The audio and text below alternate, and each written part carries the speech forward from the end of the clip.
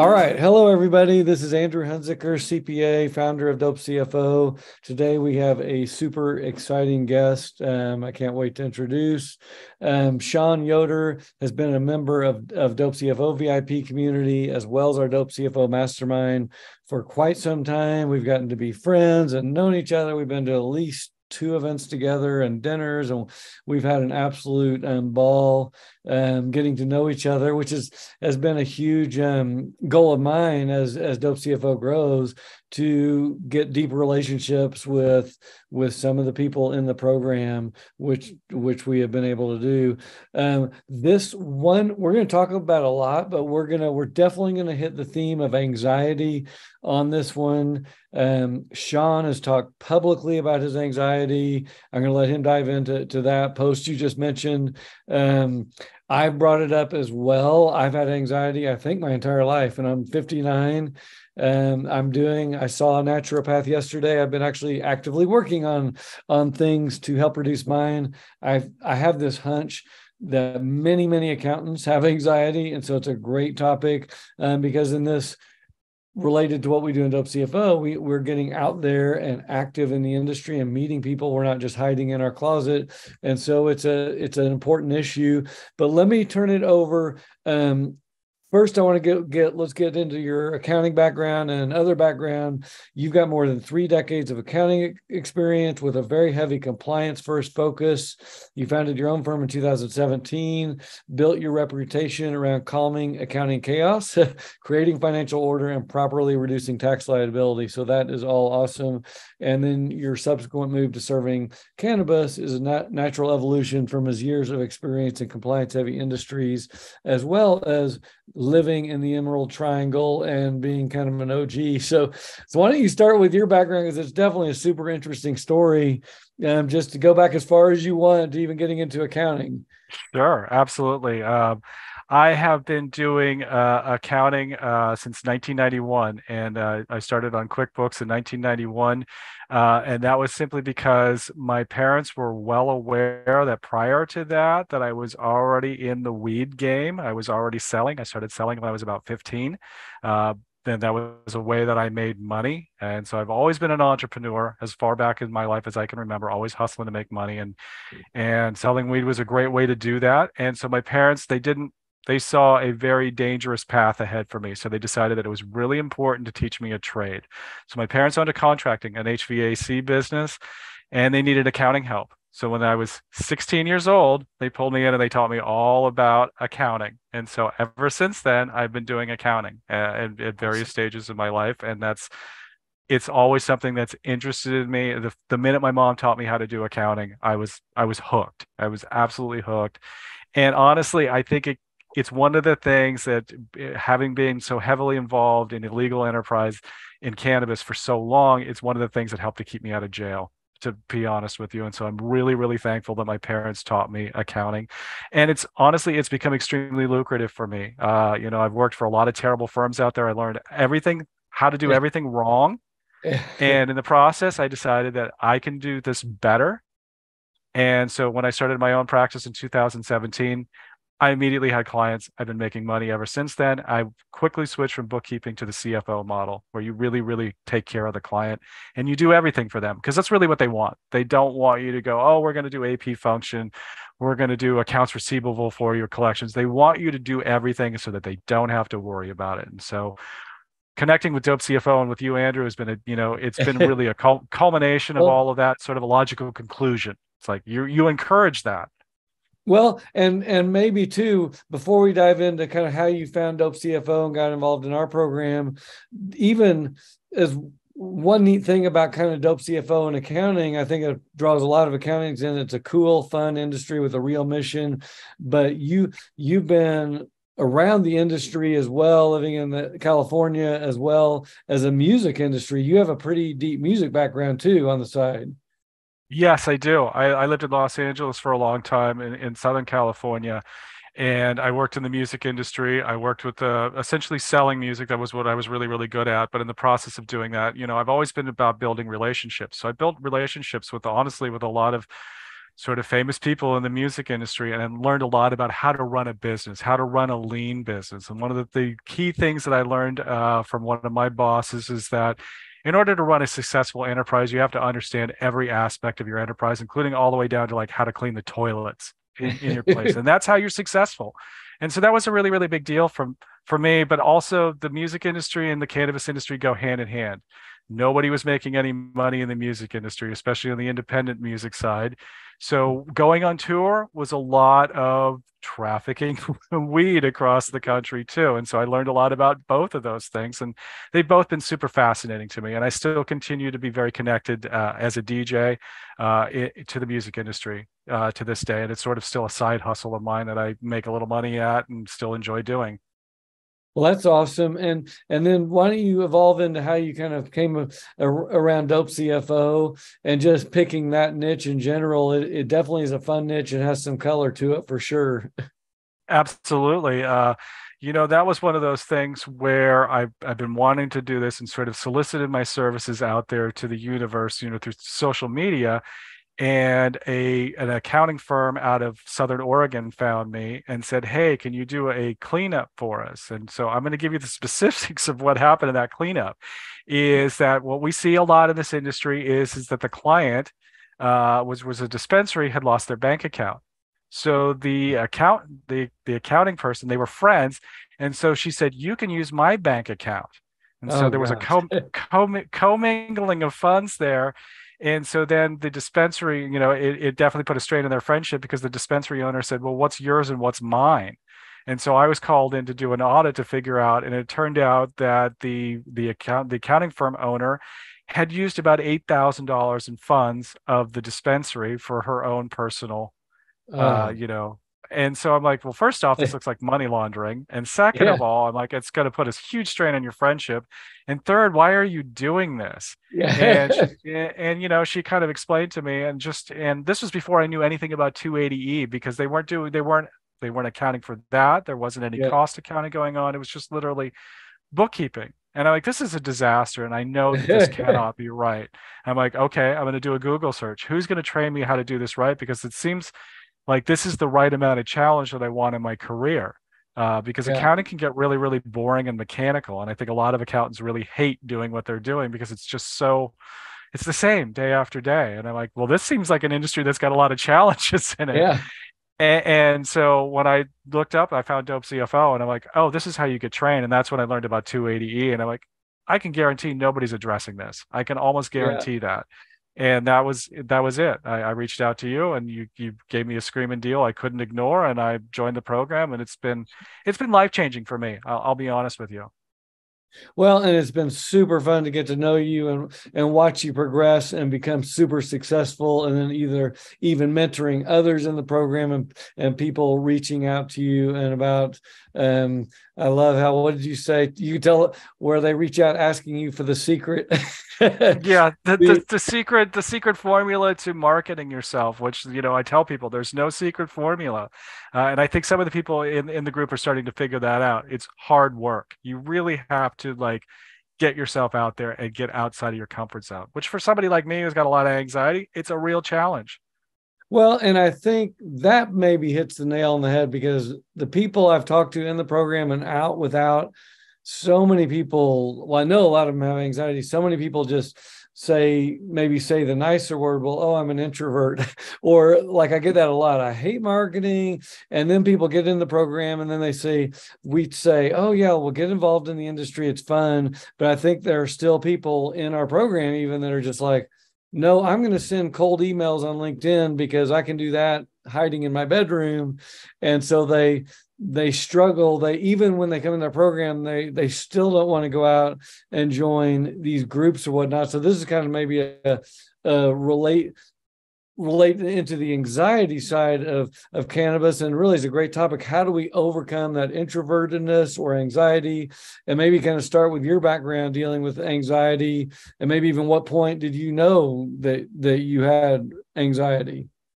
You know it's been something that i've thought about my whole life. I think it's something that i was born with and that's something i'm currently working through in therapy that i think my therapist has correctly identified that i'm neurodivergent which is not something that people want to talk about, like being on the on the spectrum of being autistic, uh, which is mm. fine. I'm really I'm really coming to terms with that now as I'm approaching 50 that maybe that I was born a little bit different and I'm totally fine with that now. But I don't think that's something that people really want to talk about, but it's something that's really affected me my whole life. I've always felt like I've been kind of an outsider and it's really kind of pushed me and made me feel really lonely. So I I really suffered through a lot of substance abuse and mostly for me it was alcohol and I really tried to drown all of that anxiety in alcohol. And what I discovered over time is that alcohol doesn't work it doesn't work at all. In fact, it, what it does is it slowly kills you. And I've definitely seen several of my friends over the past few years die from their alcohol abuse. And so that was a big wake up call for me in terms of like, and the only medicine that I've been on, and I've been on everything that you can think of in terms of medication to deal with anxiety. And the only thing that actually really, really works is a mixture of cannabis and St. John's wort. And that's it. And that, yeah. and that, that keeps me going. And so, you know and i think a lot of people i've met in the cannabis industry are in the industry because they have health issues and cannabis is a medicine for them and i realized that and i was just recently talking with a client he said it's not rec or medical for him it was it was both it was an and it was it was rec and medical and i feel the same way. I use cannabis recreationally on the weekends to enjoy myself but i also use it on a daily basis to keep me able to function and work. The long hours that are required to be you know to to run a run your own practice.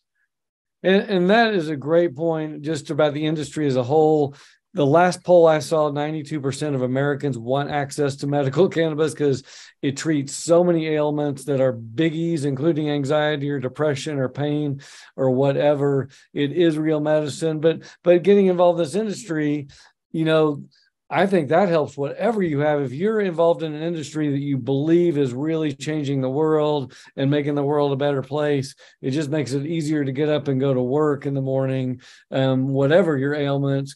And so that's um, a really good point on that side. Um, and dealing with it with a day in and day out, both the medical and the rec. How do you this would be more on the day-to-day side how do you manage it while you're pitching potential clients that can always be a very scary one. You're talking to a CEO or whatever. You know, I get really nervous. Like I'm nervous right now. And one of the things that I really work on and I've been working on for the past 25 years is meditation.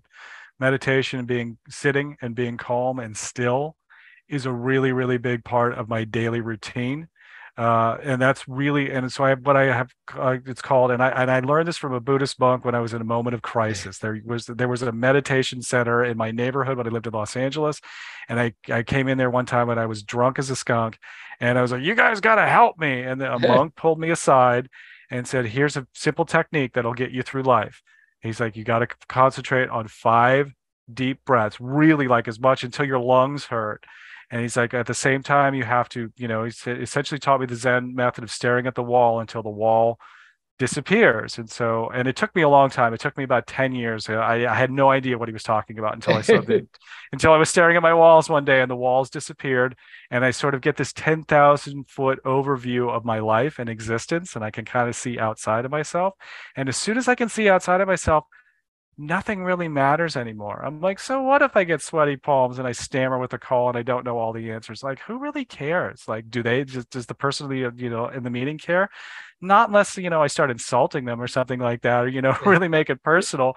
Uh, they don't really care. All they're really trying to do is figure out whether I'm the right fit for them. And so, it, really taking that perspective of if, am I adding value to their life, and you know and realizing that i have my own issues but that that's okay like we all have our own issues and i'm sure that the uh, the person i'm speaking to has their own issues in life and just sort of minimizing things and realizing that existence is bigger than what i can see with my own eyes Oh, that's a yeah, that's a great point. I love the story about the monks as well. So, say you're kind of conversely to having a conversation. Say it's just you've got a huge workload and it's just almost like anxiety can almost shut you down where you're just like oh i want to procrastinate or or not even get started um, as it all, often can be in the accounting profession. You know i it really is a challenge and and that's a and I struggle with that. I think everybody struggles with their workload in in this industry, and you know that's where more cannabis definitely comes into play with for the late nights. To you know, once I'm not having to talk on the phone, I don't exactly like to use cannabis when I'm like having meetings with people, but when I've got to pull late hours, because you know, here's the ultimate thing: is is that the reason I think we're all doing this, and I think you really harp on this, Andrew, very well, and I think you've got it all drilled into our heads pretty well, is is that you've got to offer white glove service to your clients, and the only way you can offer white glove service to your clients is if you care about them, and so sometimes you got to even though you've got anxiety and, and you want to procrastinate you have to do right by the client and and and it's easier for me now and one of the things that's been really a big deal for me is developing a a very close, almost personal relationship. My clients that I deal with are like family.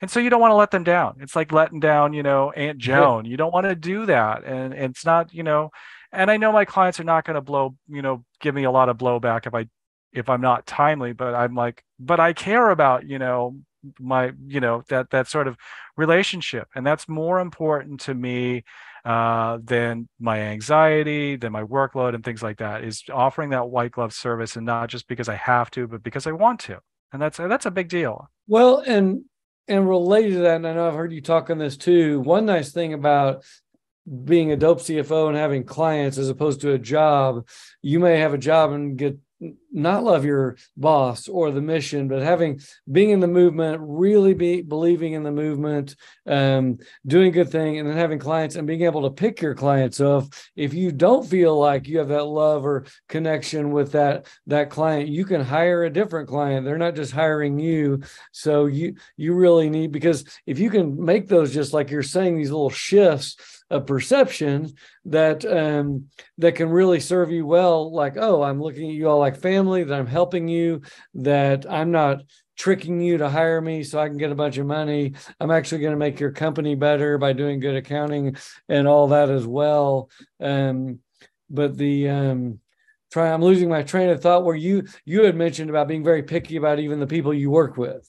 Yes, I'm extremely picky about the people that I work with, and and I learned part of that I learned in the Dope CFO program because I also serve non-Canna clients too.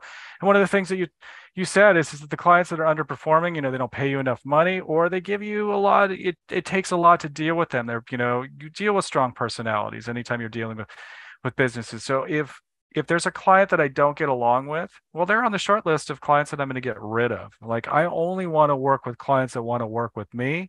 And so every single one of my clients that I have now, whether it's in Canna or non-Canna, they all say the same thing. I respect you. I trust you. Thank you for doing what you're doing. I appreciate you. That's all I hear from my clients. And yeah, we have issues. It's not all peaches and cream all the time.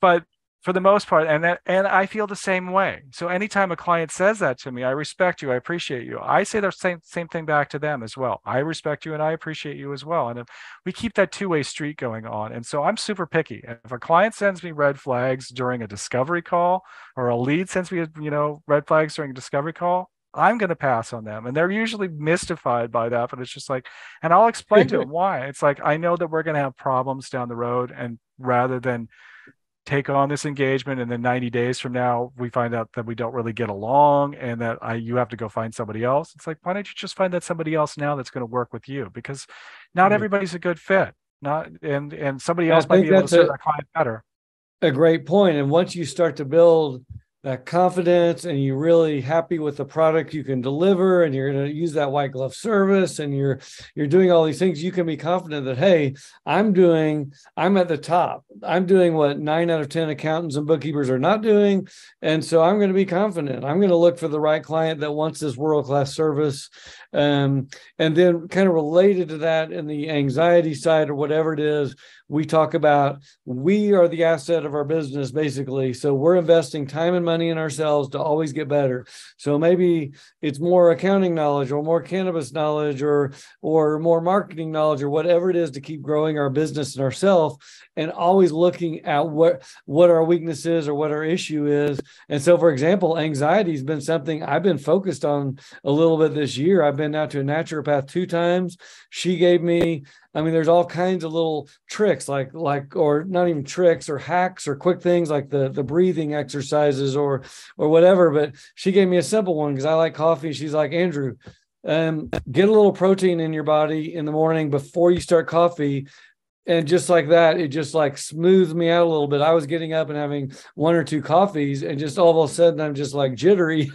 um, yeah. And so, and you know what? I used that hack too. When you said that, when you mentioned that to the group, that that's what you were doing to deal with your anxiety, I, I went ahead and I said, "What's the worst that could happen? I have a little meal in the morning. I normally don't have a meal in the morning at all. That's I how I was.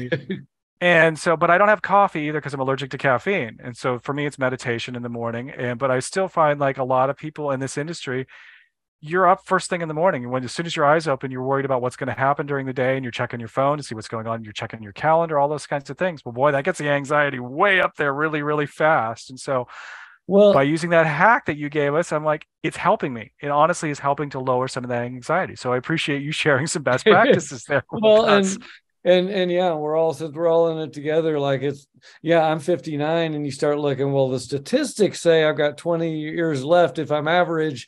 And so i don't want to spend 20 years of being anxious. And so i'll do all these these little things or big things or whatever. And another one i think we all hear this and we know it so there's there's this dual thing like i want to role model everything for the students and most people tell me i'm available. I answer posts quickly in facebook. I'm on calls. I answer emails. I'm pretty responsive but the other hand i'm trying to switch a little to where like instagram for example if i can just force myself to one or two times a day because it's real easy to just start scrolling around. Twitter's the same way. I get on it once a day Facebook. I'm trying to just block it because otherwise, I just I think we all realize this. You start scrolling and it just makes your anxiety go up. You're whatever you may not even be cognizant. You're scrolling through and Sally's successful. Why am I not? Or whatever. um, it can just and so like there's there's pros and cons of some people like i hate facebook. It's like well one great thing of facebook is we can make a community which we have. That's the only thing i like at all on facebook is our private community that we have and we can connect with each other. But like instagram is a good place to be because a lot of cannabis people are there. But on the other hand you could just scroll till till you're all day long it will never end. And so it's just you got to be be careful to take breaks from those things.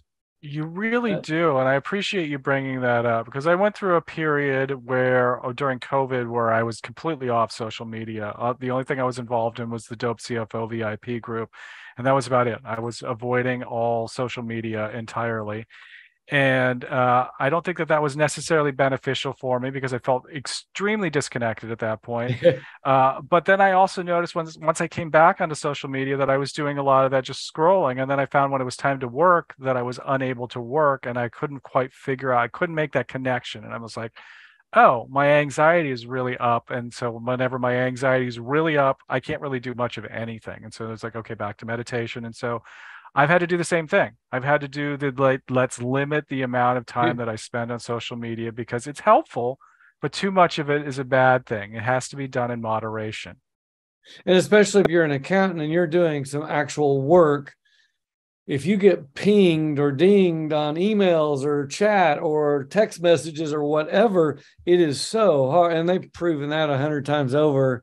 Like if you're going back and forth and back and forth, it just is not the effective way to, to work. Do you have any other tips on? Um, we've really dove in deep into this anxiety, dealing with it on a day to day basis. Um,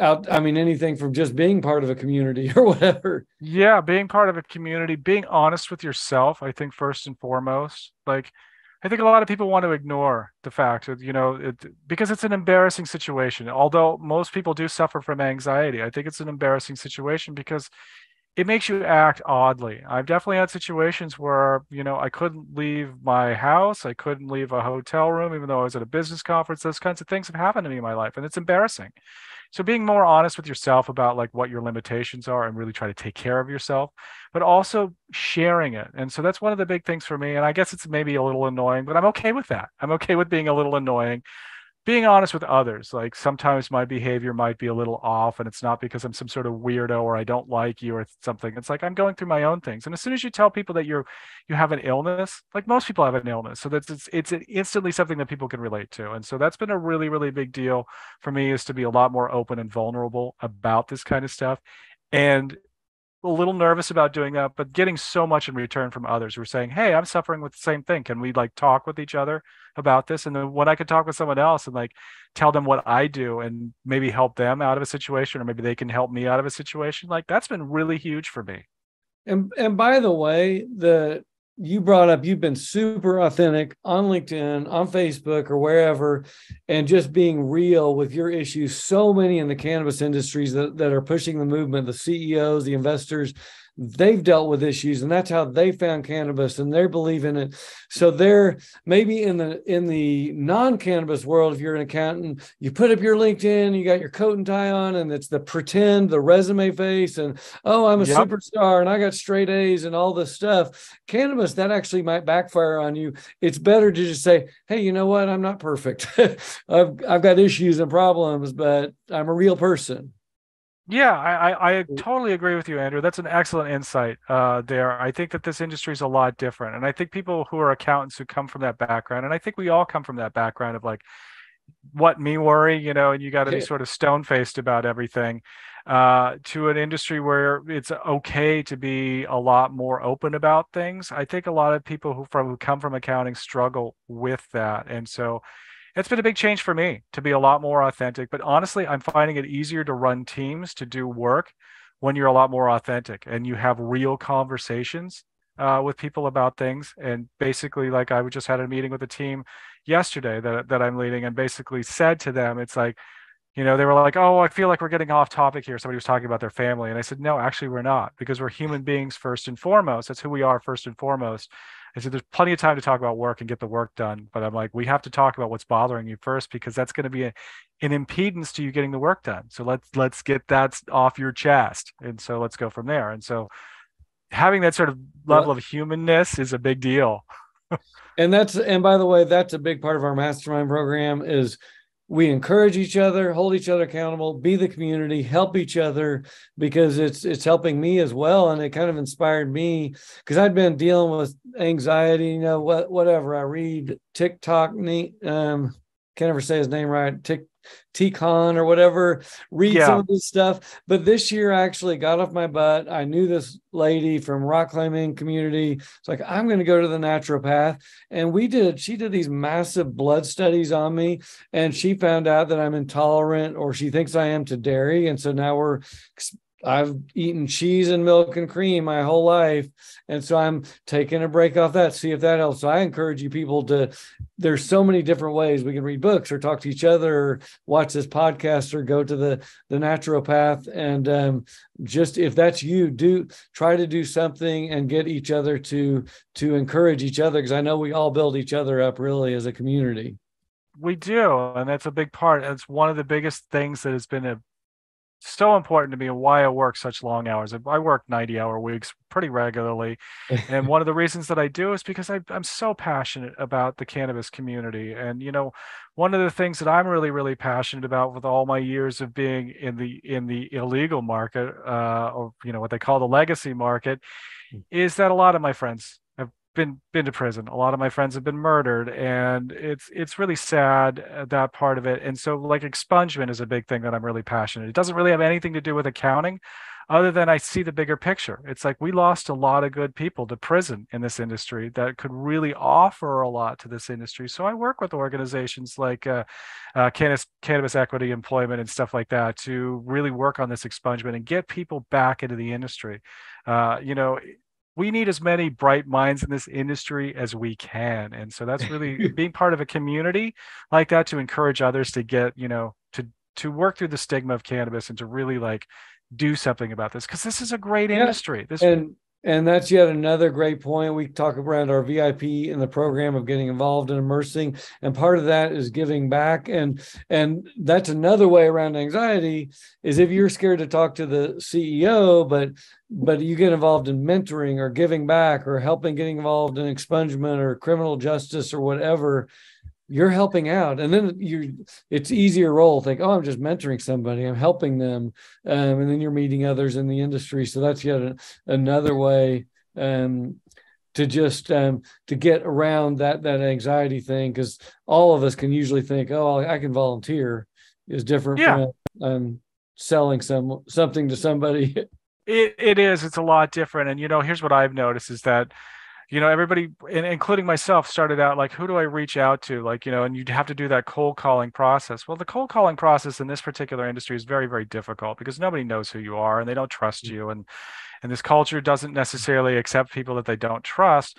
As soon as you get involved in like helping and mentoring and really getting out there and building that goodwill within the industry you don't have to go out and look for those CEOs. You get introduced to them because somebody's like, I really appreciate what you did for me right there, or my organization right mm. there. Thank you. Let me in. Who are you? Who do you want to talk to? And then you say, Hey, I'm looking for CEOs and need, you know, these services. I can, you know, accounting services, uh, you know, especially uh, full full service accounting services. And you get those introductions from people and those are very warm leads because those are people who are generally friends and you know of, of the person that's introducing you. And so you get a very warm lead of sort of like who a friend of a fr- you know of a friend is a friend of mine. And so that's really how i built up my pipeline it's just doing all that that outreach and goodwill work. Well and and that's a, a good note to kind of get towards close. So any um, final advice for accountants thinking about getting in the industry, but also um, where people can find you. I highly recommend if you're a Canna owner or CBD owner, get in touch with Sean. Um, I think you're doing amazing work. You're passionate about the industry, super knowledgeable. Um, the people like you that are in in the program that are really going all into cannabis this isn't like one out of 10 industries you serve or whatever and you kind of know what's going on like you're all in and i think the owners appreciate that. We will have on their show notes where to find you and all that as well but but if someone's just in their car listening to youtube or whatever and they want to find you quickly what are what are some easy ways to find you uh, you can definitely find me on LinkedIn. That's uh, where I'm most active. So you just look up Sean Yoder on, on LinkedIn. You'll find me. I'm usually saying I usually have some pithy comments about things about the industry because I don't like everything about this industry, and so I'll definitely have some opinions about things. And you can find me at my website, which is aldertinegroup.com. Uh, and and you know that's that's my website out there, and you can definitely find me. And I, I'm definitely getting leads from my website. So if you're hearing this and you want to talk to me, like go to my website and just fill out a submission form and we'll be in touch with each other. And in terms of people wanting to get into this industry, I think you hit the nail right on the head. Uh, and I don't think I need to say anything more than that. You have to be committed to this. You have to be all in. This isn't something that you can just dab your toe into and make a little money out as a side hustle. Cannabis requires a full commitment. The plant requires a full commitment to it. and so if you're not willing to make that commitment, then you probably you know, this probably isn't the industry for you.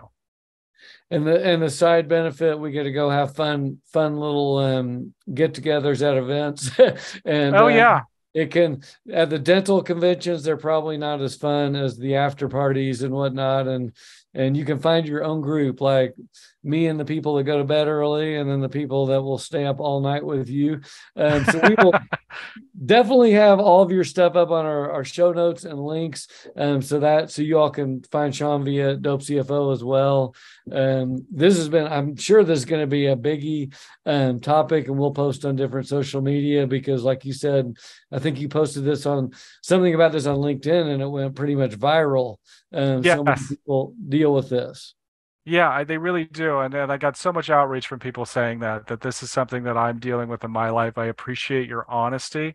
Most people don't want to talk about the the way that they were trying to medicate themselves for years and years and years, and I'm like, I'm not afraid to talk about that stuff anymore because all that stuff is in my past now, and all I see is a really really bright future where I can where I'm in partnership with my anxiety rather than my anxiety is in control of me. No, great point. And um, yeah, I'm a big, big passion of the plant. And really, my background too had a lot of alcohol when my teenage years and college years not even really putting a label on anxiety. I was just like oh it feels better to be really drunk. Yeah um, but where where cannabis like you say like even i have i use a tincture of and it's super mild but it takes the edge off and um, it's not like drinking a 12 pack. Um, it it never is and that's the wonderful thing about it. It's one of the reasons why i really like canna beverages a lot. It's it leans into that like i still like drinking but i don't feel like I'm drinking, and that's a big deal, you know. And I think that uh, this industry is, in the plan is going to offer a lot to people. I think it's really going to cut through a lot of substance abuse problems, which are, related to anxiety, because so many people suffer from it. Well, this has been an awesome podcast. Um, I really appreciate you as a friend and as a member of our, our key group, and um, super excited to hang out with you more. We'll have to figure out which events we're going to be at next. And um, everyone, um, have a, a great week as well. Great start to the year, and um, we'll see you then. Thanks for having me, Andrew. I really appreciate it.